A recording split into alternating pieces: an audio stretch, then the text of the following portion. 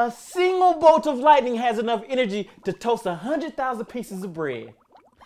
That's way more bread than that broke ass nigga you with got.